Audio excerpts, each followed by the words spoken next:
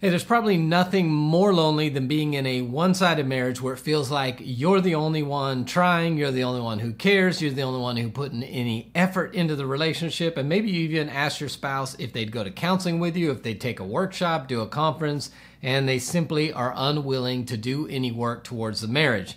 If that's you, you probably feel like giving up, but don't give up because there is so much that you can actually do for your marriage to strengthen and improve it even if you're the only one willing to put in any effort. What I want to do in this video is give you four thoughts on what you can do even if your spouse is not willing to work on the marriage. That's today on RelationShots.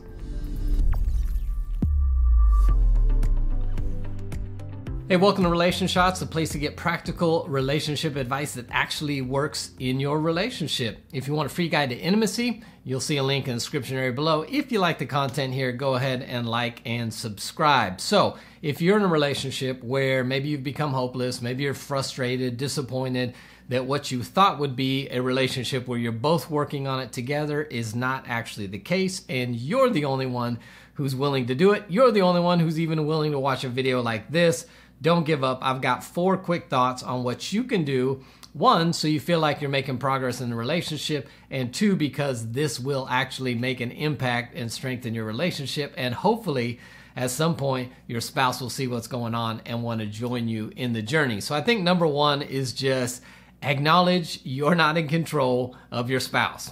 Yeah, this may be the most difficult part of the process, but there's nothing more frustrating than putting effort into an area where you're going to get no return. You can't control them. Now, what you may be able to do is try to manipulate, try to punish, try to withdraw, try to do things to influence them, but ultimately, you cannot control whether or not another person will make any effort, will do the things you want them to do, will interact in the relationship and try to strengthen it. You're simply not in control of it. And the quicker you realize that, and the quicker you give up the desire and need for control, the better you'll be able to focus your energy on where it should be focused in the relationship. Otherwise, trying to control the other person is only going to keep you in a place where you're focusing on the wrong things. You're spending energy on things that are not going to get you any kind of return on investment and simply are a waste of time. And usually, what happens is it causes frustration for the other person too and pushes them away or makes them even less likely to do what they feel like you're trying to control them to do in the relationship. So, listen, if you're a person who loves justice, who loves rightness, this will be tough for you because, yes, guess what? It's not fair. And yes, guess what? It does suck that your spouse does not want to work on a relationship but you are not in control of them and you need to realize that the quicker you do the quicker you'll be able to move on and do some things that are actually effective in a relationship which leads me to thought number two which is work on yourself. Here's the good news. You are completely in control of yourself. Whether you want to do stuff whether you don't want to do stuff whether you want to improve whether you don't want to improve. So any work you're willing to do on yourself will improve you, which ultimately will improve the relationship. And we all have work to do. I don't care how great you are, how healthy you are, how much you feel like you got a handle on relationships. There's probably some stuff that you need to work on. There's probably some areas of your life where maybe you need healing or growth.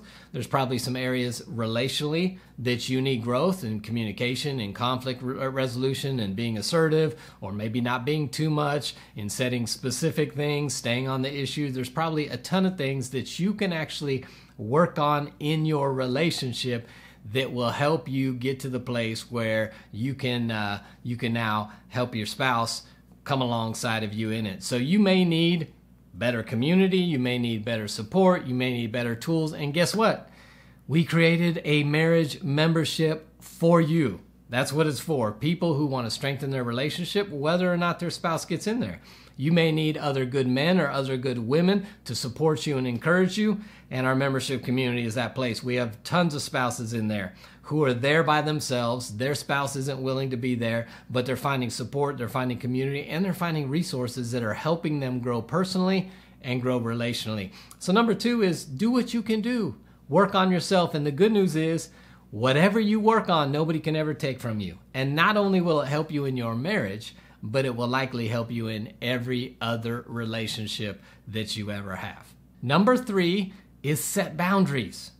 There are probably some areas in the relationship where you are trying to take responsibility for either actions, attitudes, behaviors of your spouse that are not your responsibility.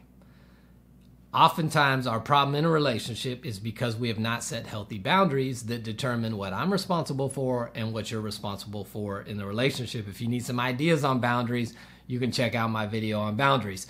But the idea is simply you need to set boundaries that create a space where you can remain healthy so you're not getting bitter, you're not getting resentful, you're not getting emotionally worn, worn down. And instead of trying to take responsibility for them, instead of trying to force them to do some of the things you want them to do, you just need to set good boundaries. If they have an anger issue that they're not actively working on, you do not owe them to take responsibility for that and try to make sure everything's perfect, walk around on eggshells. Setting a healthy boundary means if they're going to come home with an anger issue, you set a boundary. I'm not going to interact with you, or I'm going to take the kids and go to my mom's house, or if I don't have kids, I'm going to leave the house for a period of time until you calm down because I'm not going to sit here dealing with your anger issues that you're not dealing with, whatever it may be if it's an addiction, if it's a bad habit, if it's a behavior that's not healthy for the relationship, you may need to set healthy boundaries, which will allow you to stay in a place healthy emotionally so that you can continue to work on you and work in the relationship. And it prevents you from putting a lot of energy into something that is not your responsibility at all in the first place. So I would encourage you evaluate your boundaries. Do you need to set some boundaries where you have not yet? And oftentimes, when we set boundaries, guess what?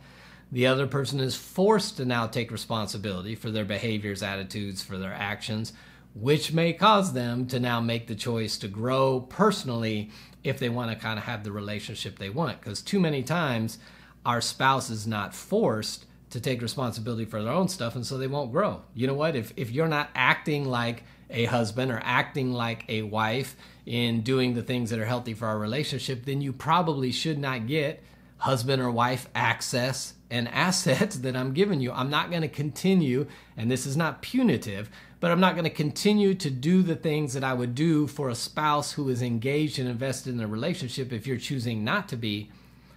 And that's setting a healthy boundary to say, you know what, I'm willing to do these things, but it also requires you doing your part. If you're not willing to, then I'm not going to do these things over there. That can be a healthy boundary. Again, it's not punitive it's setting a healthy boundary so that you can guard your own emotionality. So, the fourth thing is be intentional in the marriage.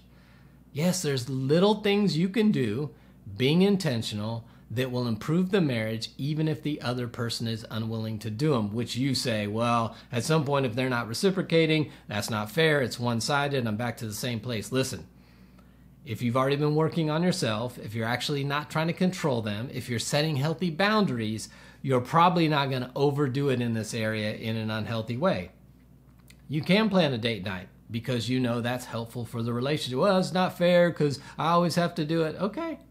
So you can either have no date nights or you can put in a little bit of effort and plan a date night because that will increase connection. You can also ask, hey, would you like to plan it next time? But you can put in some effort. You can make the decision every day to get up and, and be grateful and appreciate them um, or express and celebrate things that they do. Admire them. You, you can give them some of the things that you know they desire in their relationship, even if they're not reciprocating because again you're coming from a healthier place. You're working on self you're setting healthy boundaries so you're not doing this out of an emptiness you're doing this out of an overflow and you're not doing it to such an unhealthy lopsided uh, way that that you now are becoming bitter and resentful in the relationship but you can continue to invest in the relationship and the hope is at some time some point your modeling will now invite your spouse in to participate and do some of those things as well so, if that's you and you're in a relationship where you feel like it's one sided, I would suggest you consider these four thoughts and ideas on how you can take care of yourself, but also be working on the relationship and ultimately improve your experience in the relationship. And hopefully, at some point, your spouse will be drawn into doing that as well. As I mentioned before, guess what you're going to need? You're going to need support to do this because it is one sided and you do get tired, which is why we have a membership community. And again, I'm going to beat beat this nail until it's all the way driven in. I believe that relationships are a group project, you need community, and if you're in a one-sided marriage, you absolutely need community. And we've got spaces for husbands and spaces for wives in our community where the wives can talk and the husbands can talk. We have Zoom calls for the wives, Zoom calls for the husbands, and Zoom calls for couples. We have support for you, whether your spouse is willing to work on the relationship or not. You can find tools, you can find support, and you can find community to help you turn your relationship around. I'd love to hear your thoughts on these four ideas, or maybe any ideas you have that have worked or not worked, so we can have a discussion around this. If there's anything we can do to support you in your marriage, we'd love to be part of your marriage journey. And until next time, I'll see you right back here on RelationShots.